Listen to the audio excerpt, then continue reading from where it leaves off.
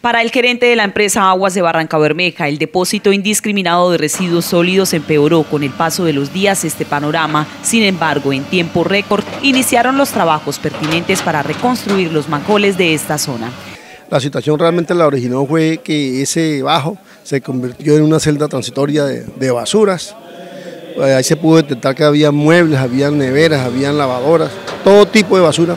Esto ocasionó que la capa vegetal que se había dispuesto hace muchos años para proteger el talud eh, se muriera y eh, la escorrentía del agua hiciera la erosión. El ingeniero Sergio Amariz, gerente de la compañía, especificó técnicamente las obras que se ejecutan para mitigar el impacto de esta situación. Eh, se va primero a estabilizar el terreno mediante un muro de gaviones flexible en la, en la pata del caño y luego hacer un relleno pertinente. Paralelo a eso se van a construir cuatro manjoles que son los que van a recibir, van a recibir las aguas que hoy eh, reciben la tubería 48 y 24 pulgadas. Igualmente se va a hacer el desvío de las aguas que hoy puedan caer en estos días de invierno.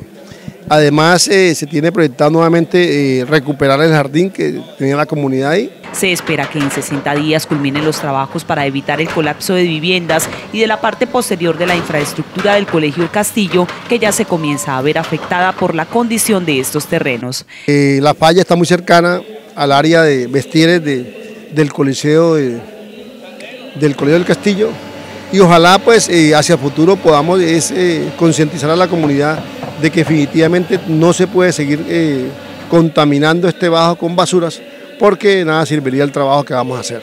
La inversión que se hace en el sector son financiados con recursos propios de la empresa Aguas de Barranca Bermeja.